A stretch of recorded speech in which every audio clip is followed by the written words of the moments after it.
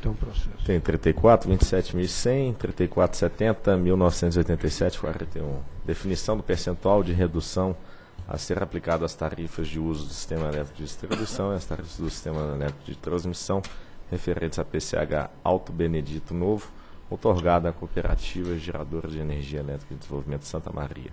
Diretor relator, doutor André Vittoni. Senhores diretores, se não houver objeção, vou fazer um resumo aqui.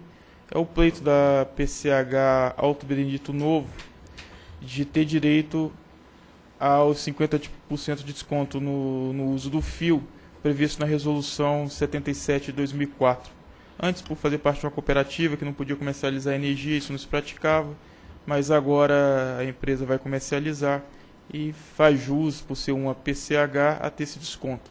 Então, nesse sentido, passa a leitura do dispositivo de voto, com apoio nessa fundamentação e no disposto no processo 27.100.003470 voto pela aprovação de resolução autorizativa com a minuta anexa, que estabelece o percentual de redução de 50% a ser aplicado à tarifa de fio, tanto na T ou na D, incidido na produção e no consumo da energia comercializada pela PCH Alto Benedito Novo, outorgada à Cooperativa Geradora de Energia Elétrica e Desenvolvimento Santa Maria, por meio do decreto de 91, enquanto a potência injetada na rede for menor que 30 kW.